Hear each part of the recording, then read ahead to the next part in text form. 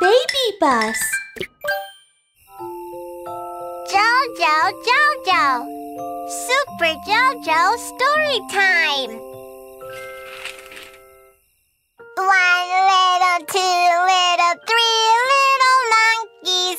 Four little, five little, six little monkeys. Wow. Jojo can sing the little monkeys now. Can I tell you a story about a little monkey today? yes, yes. Little monkeys. This story is called The Little Monkey and His Peaches. Once upon a time, there was a little monkey. He was cheerfully going down the mountain for food. After a while, he came across a peach orchard. There were many peach trees, and on the trees, there were many big red peaches. The little monkey couldn't wait to eat the peaches. wow, the peaches must be very delicious.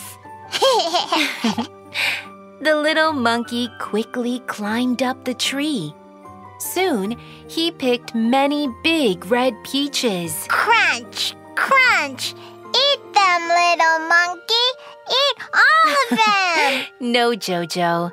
Actually, the little monkey did not eat the peaches.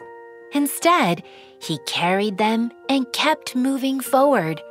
Soon, he saw a lot of bright golden corns in a cornfield.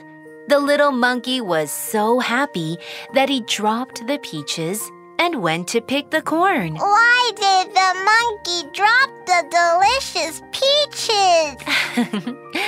Well, Jojo, that is because the little monkey had never seen corn before. He thought the corn must taste way better than the peaches.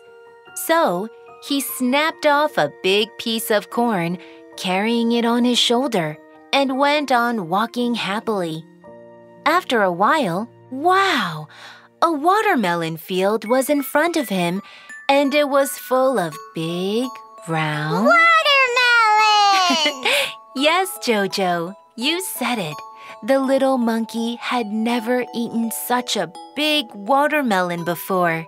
Once again, he dropped the corn and pulled a big watermelon off its vine.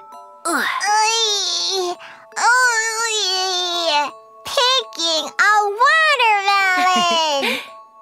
Little monkey was carrying a big round watermelon with all his might and set off again. When suddenly, Uh, uh, what happened? Suddenly, a bunny hopped out of the bush and ran very fast. The little monkey wanted to have a running competition with the bunny.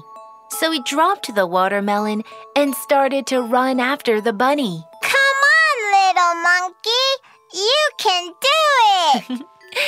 The little monkey chased after the bunny, but the bunny ran into the woods and disappeared. oh no, the bunny disappeared. It was already late afternoon. The sky was getting dark. The little monkey felt a little scared and rushed back to the mountain. As he got home, his stomach started growling. At that time, he realized that he didn't bring anything back for dinner. Uh, Oh, poor little monkey. Why did he throw away all the delicious food? That's a very good question, Jojo. He wanted everything he saw, but didn't care and cherish what he already had. In the end, he had nothing. a confused little monkey. confused little monkey learned a lesson. Next time, you must learn to focus on your task. Okay, Jojo, it's bedtime.